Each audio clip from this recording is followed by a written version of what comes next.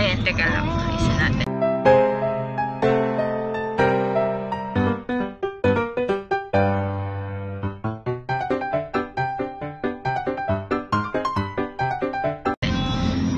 So, ayan, magandang magandang tanghali sa inyong lahat. Kasing ganda ko, charot.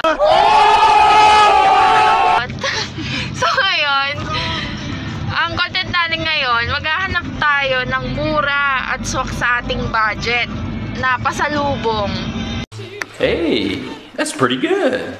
So, magtitingin ako ngayon sa Facebook ko. Since nandito tayo sa Naik Cavite, guys, ah, maghahanap tayo sa aking Facebook account kung saan ba talaga merong pasalubong center na mura dito sa Naik Cavite. So, ayan. Search natin, guys.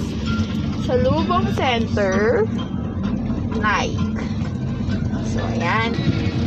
Ayan, may lumabas. Tignan natin. J&J Pasalubong Center. Ayan guys, may nahanap na tayo. At ang kanyang address nakasulat na rin dito. Ibayo Silangan, Naik Cavite, in front of PLDT and Western Union. So, ano pang hinihintay natin? Tara na!